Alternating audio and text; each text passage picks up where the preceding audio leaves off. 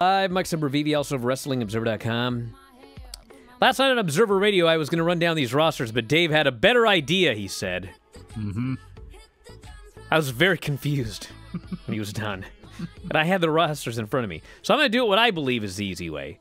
I'm going to tell you who is on Raw first, and then I will tell you who is on SmackDown. Ready? Yes. All right, Raw. A couple of notes as we go through, but I'll try to keep it simple. Raw has Big E, Bianca Belair, RK Bro, who thankfully are the Raw Tag Team Champions, so we have to worry about a switch. Edge, Rhea Ripley and Nikki Ash, even though they can go wherever they want. Keith Bearcat Lee, Rey and Dominic as a team, even though the storyline is they're going to go their separate ways. Austin Theory, but not Johnny Gargano. Alpha Academy Otis and Chad Gable. Apollo Crews and Commander Azeez, who are a package deal. Doudrop, Drake Maverick, John Morrison, the injured Nia Jax because they drafted some injured people, but not other injured people. Reggie, R Truth, T Bar, because they broke up T Bar and Mace. Remember every couple of weeks they try and give those guys a push? Well, they're broken up now. We've got Zelina Vega. So at least she goes into a new brand zero and zero, unlike the zero and 19 she was on SmackDown or whatever. Becky Lynch, who is the SmackDown Women's Champion, but she's on Raw. So either her and Charlotte have to both lose their belts to somebody on the other brand, or Becky and Charlotte have to switch belts, in which case each of them has a new reign added to their record. Which, for those of you that are sick of seeing Charlotte win titles, that will help you a little bit because we're adding one to the tally because she went to another show.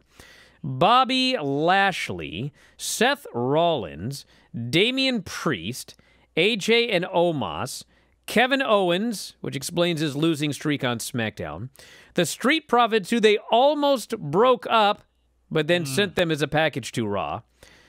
The Geek of the Week, Finn Balor, that poor bloke. Karrion Kross, Alexa Bliss, Carmella, Gable Steveson, who has been drafted in advance of his debut next year. It's very important to draft him. 33rd or whatever. Dana Brooke, who was absolutely buried on commentary. Dolph Ziggler and Robert Roode. Jaxson Ryker, who is now a 24 7 geek. Veer. Everybody else could go as a package deal except Veer. He got split away from Shanky and and uh, what's his name? Shanky and Jinder. Jinder. And quite frankly, I mean, it's probably for the best because he wasn't going anywhere with those two. But I think he could do something as a single. Liv Morgan, Mia Yim, if you remember who she is, Tamina, Tegan Nox, who, as I noted, Tegan and Shotzi won three, count them three non title matches.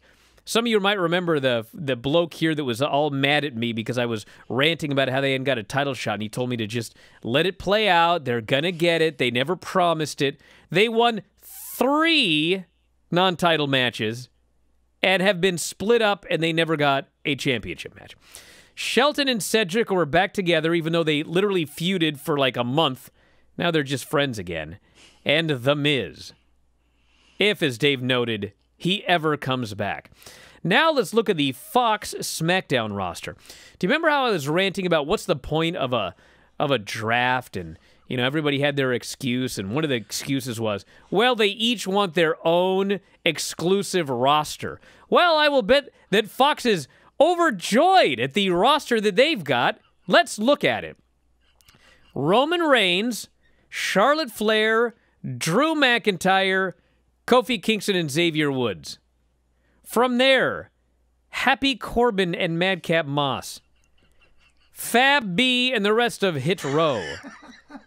Naomi, Jeff Hardy, Aliyah, Drew Gulak, Aliyah. Mace, Mansoor, Mustafa Ali, Toni Storm, the Usos, Sasha Banks, Shinsuke Nakamura and Rick Boogs, Sheamus, Shayna Baszler, Xia Li, the Viking Raiders, Ricochet, Humberto and Angel Garza, Cesaro, Ridge Holland, Sami Zayn, Jinder and Shanky, Natalya, who has been broken up from Tamina, and Shotzi.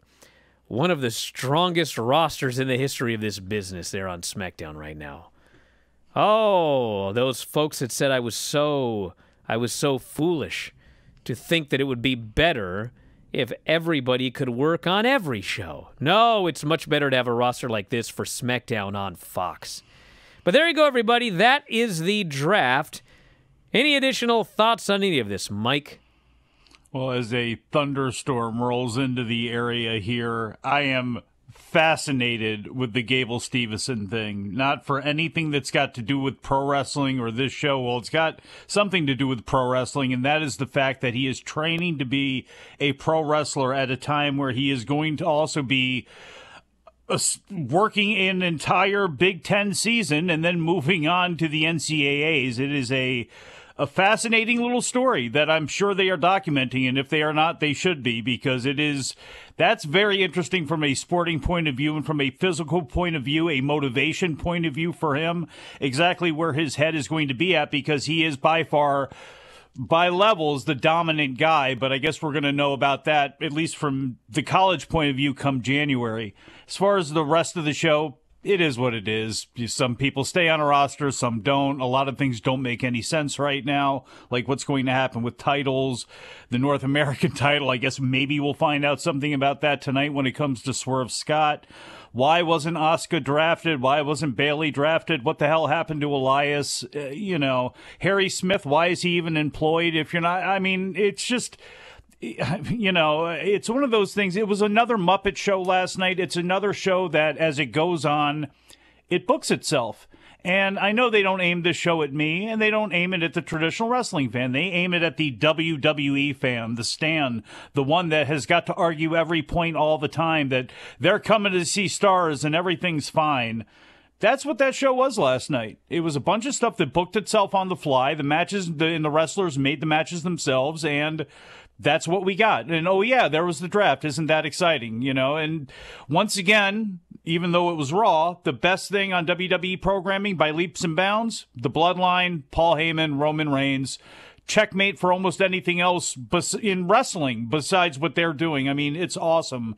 And we only got a little dose of that, which was another frustrating thing where why can't these shows be together so we could see this stuff on both? Because it would be better for both products, both networks, and WWE as a whole. Definitely for the fans as a whole, I can tell you that. You know, this Gable Steveson fella, I mean, maybe he's going to be awesome. I mean, he could be awesome. Maybe he'll be the next Kurt Angle. Olympic gold medalist, great athlete.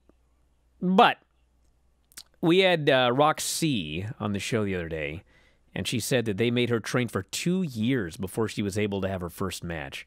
And if you've watched her of late, I mean, she's very good. So uh, some people were like, ah, oh, it's a money grab. And other people were like, well, she started training at 14, so maybe well, they just weren't going to let her get in the ring till she was 16. But anyway, yes. the point of this is, as a as a wrestler who's been around many wrestling schools, what happens is you go to the wrestling school and you start training, and you don't ask, when's my first match? Your first match is going to be when you're ready. It could be three months, it could be six months, it could be a year, it could be two years. When you're ready, that's when you have your first match. It's rare that you begin training and they go, on April 14th, you're going to debut on Raw. Yeah. We're sure you're going to be ready by then. Apparently, they've got a day, maybe not the specific day, but Dave last night said, yeah He's earmarked to debut in April. I'm like, how do you know that? How do they know that? I mean, maybe he'll be ready, but I certainly would not earmark a brand new person who, by the way, is also simultaneously training for the NCAA finals. Well, he's going to hopefully go to the finals, but he's training for the NCAAs and doing pro wrestling private lessons at the same time. Anyway, back in a moment, Observer Live. If you enjoy these videos, for just $7.99 per month, you can enjoy full-length editions of The Bryan and Vinny Show, Wrestling Observer Live, Figure 4 Daily with Tom Lawler and Lance Storm, plus hundreds of archived shows, all in beautiful HD. Don't miss out. Join us today.